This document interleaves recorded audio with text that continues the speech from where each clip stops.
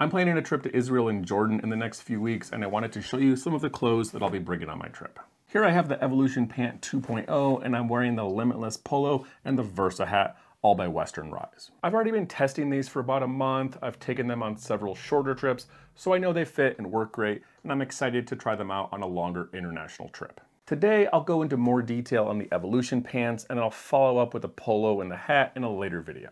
If you've watched my channel before, you know I'm a big fan of both synthetic and merino wool fabrics for travel. And unlike cotton, they're low maintenance, lightweight, they pack down small in your bag, they're easy to clean, and they can look great if you have the right style. The Evolution pants are some of the nicest travel pants I've tested so far. They're lightweight, comfortable, they look great, and they're very low maintenance. The fabric is 100% synthetic. It's a blend of nylon and elastane. This works great for travel pants because they're very strong and durable, but also lightweight, easy to care for, and comfortable with a slight stretch. The thickness measured in GSM or grams per square meters is 107. That makes this a lighter weight fabric. They work good in both cool and also good for warmer temperatures. These are also made with 8% elastane, meaning they're gonna be slightly stretchy, nowhere like yoga pants or pajamas or anything, but just enough stretch and give to make them flexible and comfortable. Now looking at some of the features on the Evolution pants, some people think that there's a certain style or features that make a pant a travel pant,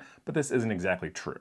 For me, any pair of pants can be a travel pant as long as they meet several criteria. They need to be lightweight, pack down small in your bag, be low maintenance, meaning wrinkle resistant and easy to clean, and ideally they will make you look great. For me, the Evolution pants meet all these criteria as well as having some bonus features. They're very lightweight, thin fabric. This is the 38 inch waist with a 32-34 inseam.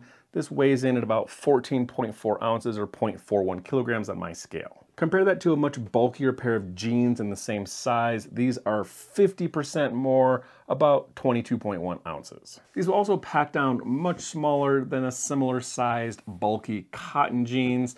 These are gonna take up way less room in your bag, allowing you to take a much smaller pack on your trip. In addition to being lightweight and packing down small, the Evolution pants also have some extra pockets that work great for travel. They use a five pocket style design here with these top opening pockets on the front, very similar to the style used in most jeans. Contrast that with the chino style where the pockets are gonna be more angled in from the side. The left pocket over here is large and deep going down to about here.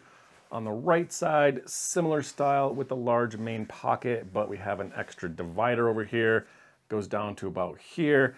Something you can use, you can put a phone in here, or what I like to do is use it for my travel wallet. Rear pockets, also similar to the jean style. The left one over here is just a plain top opener, while the right one on this side has a secret zippered pocket behind the seam. The zipper pull is also very small, so it's almost impossible to tell this pocket is here if you don't know where it is.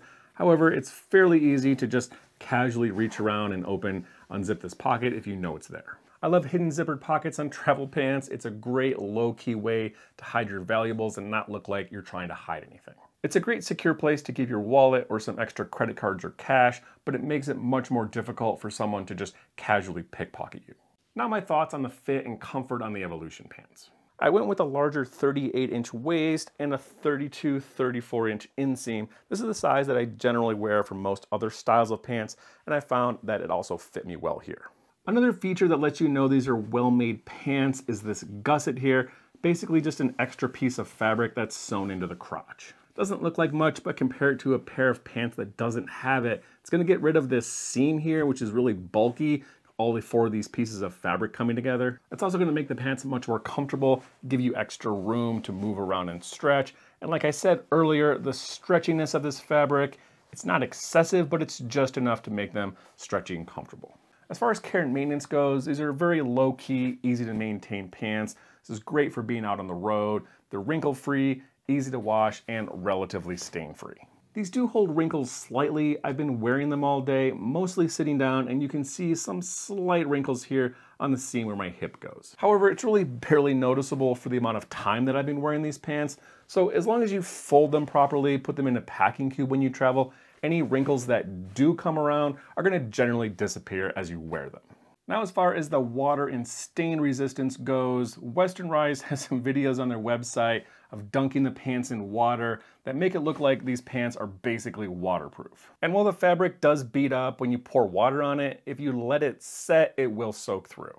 So yes, a small quick spill will repel off the fabric as long as you clean it up quickly. However, these are not rain pants, so if you find yourself out in a rainstorm or something, you will get wet.